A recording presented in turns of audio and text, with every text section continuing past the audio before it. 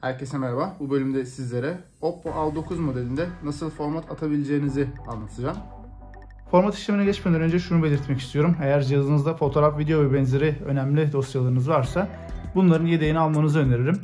Aksi takdirde cihaz format sonrasında içerisindeki tüm bilgileri silmiş olacak. Ve bunun yanında en önemlisi e, cihazınızda bir Gmail hesabınız kayıtlıysa bu Gmail hesabını format atmadan önce ayarlar bölümüne girip buradaki hesaplar bölümünden Gmail adresinizi kaldırın. Eğer şifresini biliyorsanız kaldırmanıza gerek yok. Ancak e, cihaz açılış ekranında sizden bu Gmail'i isteyecek. Bunun bilincinde olarak format atın. Bunun da bilgisini verdikten sonra format işlemimize geçebiliriz. Burada cihazım kapalı konumdayken ses kısmı ve telefonu açma kapama tuşuna aynı anda basacağım.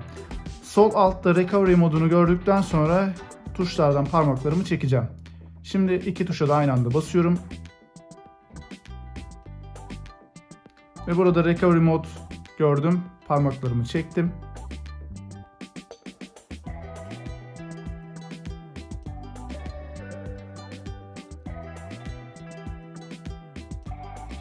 Burada herhangi bir tuşlama yapmadan bekledim. Dil seçebileceğimiz bir ekran geliyor. Bu ekranda telefonu açma kapama tuşuyla İngilizce dilini seçiyorum.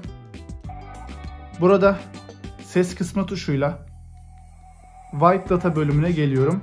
Ve burada telefonu açma kapama tuşuyla onaylıyorum.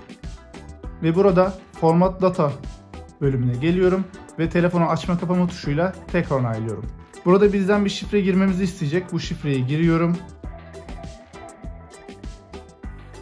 Burada şifreyi girdikten sonra tekrar bir onay ekranı bizleri karşılıyor. Burada format tuşuna bastığımızda artık telefonumuz format atılacak.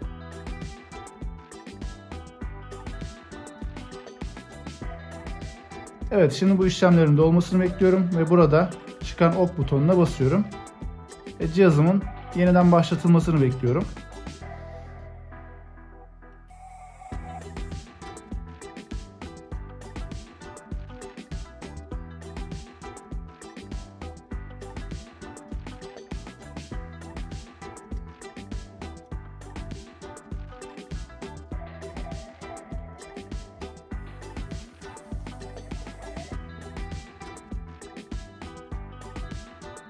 Format işlemimiz devam ederken bu ekran sonunda cihazın açılış ekranı gelecek ve cihazın açılış ekranında gerekli olan bilgileri girdikten sonra cihazınızı sıfırlanmış bir şekilde gönül rahatlığıyla kullanabiliyor olacaksınız. Bu işlemleri yaparken herhangi bir problemle karşılaşırsanız videonun yorumlar bölümünden bana ulaşabilirsiniz. Bu tarz videoların devamı için kanalıma abone olmayı, videoyu beğenmeyi ve yorum bırakmayı unutmayın. Bir sonraki videoda görüşmek üzere, hoşçakalın.